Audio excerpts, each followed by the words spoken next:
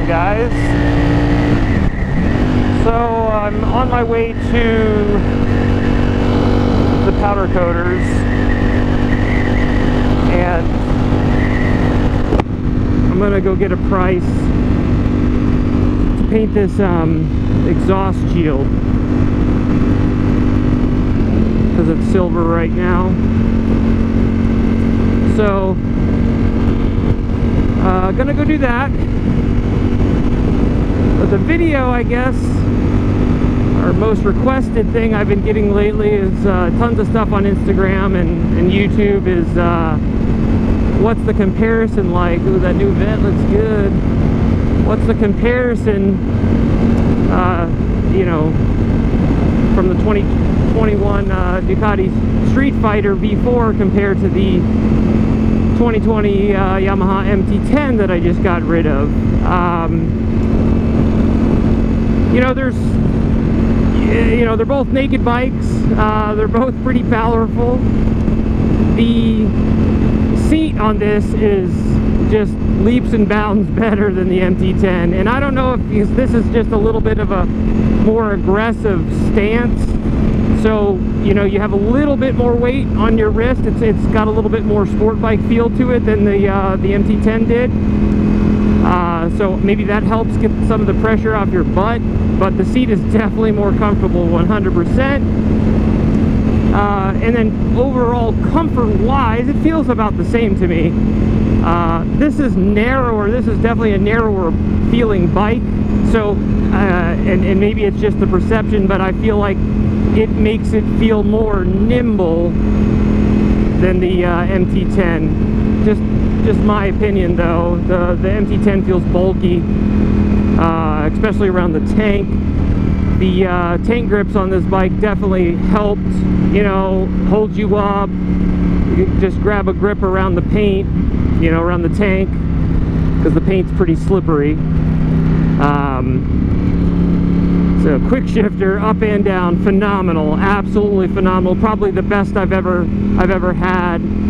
Uh, a couple of times it's, you know, when I'm going up, um, let's say to, you know, two or uh, third, third gear, let's say, it um, it uh, it almost gives you like that false neutral, and I don't know if that's because, you know, it's me not putting enough pressure on it but um, up and down man it, it's just extremely smooth. I, I love it I love it. Um, power wise no comparison. This thing effing rips man. This thing is ridiculous.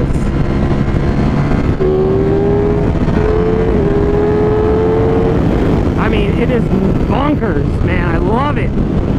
This is way faster than the MT-10 in my opinion. And this is... This is uh, toned down uh, first or fourth gears to not give you full torque. It's bonkers, man. This will blow the doors off the MT-10. Now the torque comes on just a little bit uh, earlier in the power band or, or in the RPM rev range uh, than the MT-10 did. Oh, you gotta be shitting me. I forgot my effing wallet. Oh, shit. And there's a good chance I'm gonna get pulled over on this too, so I gotta get off. Damn it.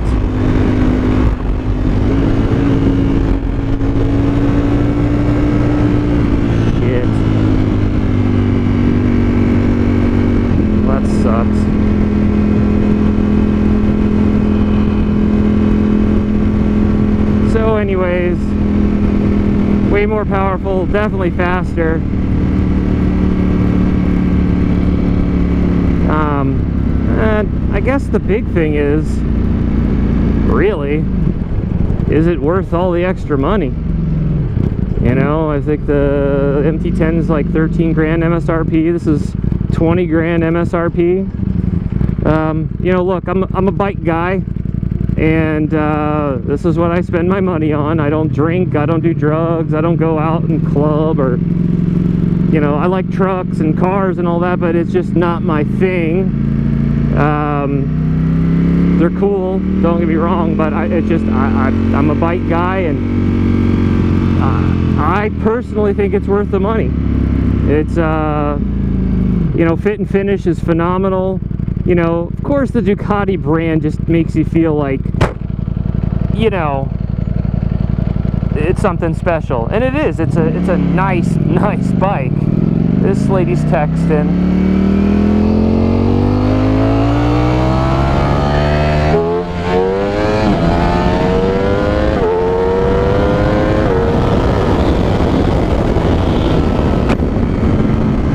Um, you know, we'll see longevity wise how it does. You know, as it is Is it as reliable as the Yamaha? I don't know. I guess we'll see. Uh, so far I haven't had any issues, but I only have 719 miles on it. So it's yet to be known. I've spoken to many guys that own them.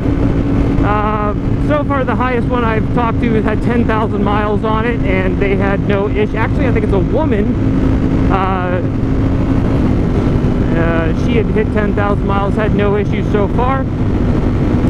Um, it's it's been an excellent bike. I, I, put this 600 miles on this thing quick too. I, I, I mean I had it uh, just a couple of weeks and I knocked it out because I wanted to get that service done and start kind of playing a little harder on it. Uh, I'm just starting to learn to wheelie it a little bit because of the way the power comes on. I've never been a wheelie clutch type of guy. The MT10, I could pretty much go through almost all the gears on it. My KTM 500, I could go through all the gears on that, you know, first through through six, I could ride a wheelie in all the gears. But um, this one has got lots of different things done to it to make it not wheelie. I mean, besides all the traction controls and nanny stuff that's on it, which, you know, I get, but uh, this has got um, some, you know, reverse rotational crank something or other in there, so it actually helps keep it down. The swing arm's been extended, so it, it doesn't go up in the air. It, you know, they, they are trying to fight wheeling, and I suppose.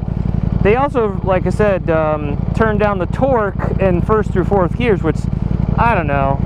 I guess it's purposeful that you don't flip it over, but uh, I'd like to have it all. I mean, and let me decide if I can, if I want to turn it down or turn it up or whatever. But I like the power. I like the wheelies. So I don't know. Um, it's it, it, it's not the handful of bike that you think it would be, though. I mean, it is. You know, the more you crank the throttle, obviously, the crazier it gets. But you know, I was downtown last week and you know stop sign to stop sign is just stop and go and I was buzzing around downtown in race mode it's a very rideable bike and then it just it gets crazy when you need it to when you hit that throttle I've got all the nannies off of it except for traction control 1 and slide control 1 everything else is 0 um, you know, I'm in Florida, Fort Myers, and there's not a whole lot of corners or anything. It's all straight, flat, kind of sucky. Uh, that's it. So I don't feel like I need tons of that stuff. I'm not getting, you know, put my knee down or anything out here, so. But um, overall, I absolutely love the bike. It's incredible. It, it's, it's super fast. It's beautiful looking. Um, you know, it feels great, rides great, everything about it's amazing. As it should be for the price. It should be the best that there is. And that's another thing, you know, I don't keep bikes super long. I get over them, I get bored with them, and, you know, I sell them and then get something else to try. But what do you, naked bike-wise, what do you get after this? I mean, that, that new Kawasaki with the supercharger is all right, you know, I mean, it's just, I'm just not a huge Kawasaki fan. I think it's a little bit ugly. Um, and it's still not as much horsepower as this is. So it's just like, what do you do? How do I go from this to something less, you know, 208 horsepower is going to be a tough deal. So, but anyways, All right, well, I guess I'm gonna call my wife and have her grab my wallet. I've also gotta go to the stupid powder coaters and then I gotta go to the stupid phone place. Not stupid powder coaters, they're actually pretty awesome. But um, I gotta have you seen this phone, seen better days. This is my my phone that I was doing that wheelie at uh, 70 miles an hour and it flew off and survived, but it's never been right since. And that was uh, like a year ago or months ago, and it is absolutely just brutal. Um, I can't, half the thing doesn't even text right. Is that my wife there? She's got that Lexus. All right, well, anyways, I better go before she gets too far. I really don't want to go all the way back to my house and get my wallet when she can grab it for me so all right guys.